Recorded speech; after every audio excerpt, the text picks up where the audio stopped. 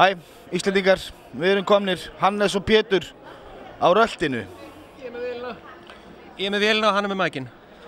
Hérna erum við komnir á bakvið þar sem allir listamennir eru, þar sem að við smikluðum vélinni á bakvið það því að má ekki vera, megi ekki fréttamenn vera hérna. Hvernig finnst ykkur það? Kanski verður við reknir úr keppni en það er nú kannski ekki það versta sem hefur komið fyrir hjá Íslandi í Eurovision. En uh, hérna sjáum við, hérna eru allir keppendur. Mér langar svo aðtóa sko að því að þjóðtíð þetta á norðmanna í dag. Hvort að þau séu á svæðinu. Sorry? We just want to, we're from Iceland. We just want to say happy Independence Day. Hún er að hita sig upp, sko, það má ekki, þetta er svo, þetta er svo viðkvæmt, þetta eru lítil blóm, þessi listamenn. Þetta er lítil blóm verið að uh, hita sig upp. Þarna er sko verið að fylgjast með, ó, lítil blóminn frá Noregi.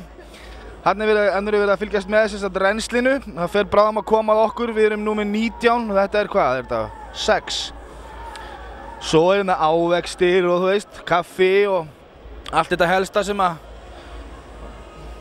okkur langar í. Það skulum við kíkja hérna þess á hérna íslenska, íslensku íbúðina sem við erum með. Og hérna er, hérna er Bretland sko, hérna er Bonnie, ég hitt hann á hann. Hún er massa res, hún er til í slægin. Gríkland, hérna er Ísland. Veitum? Ekki þetta er í stuði? Við smikluðum hérna kameru inn á bakvið sem má ekki. Svona er þetta. Þetta eru þið að borga fyrir, skattgreðendur.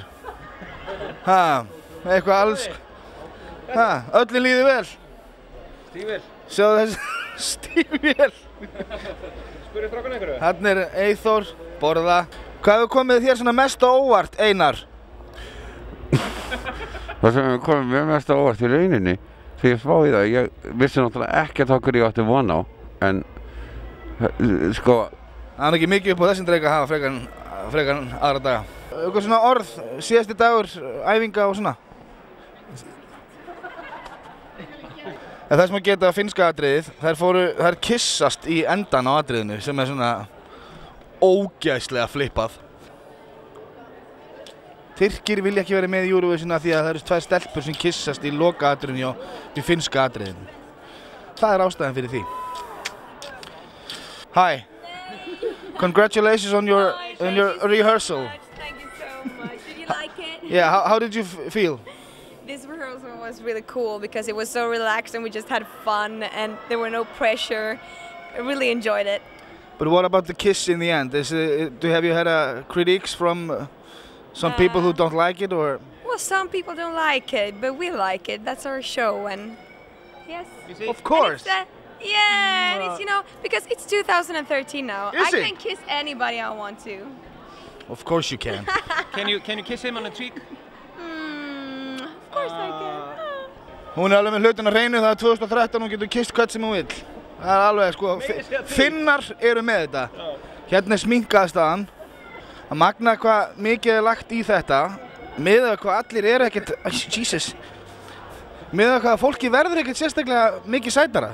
En herðu, við þökkum fyrir okkur. Þetta er búið að vera virkilega gaman því við þurfum að fara að skipta um fött og, koma okkur á svið. Það komið að því að við æfum lagið okkar í dag. Það er reynsli og svo er annað dómarrensli í kvöld eins og var á miðvikudaginn. Og bara áfram Ísland. Æ, afsakið.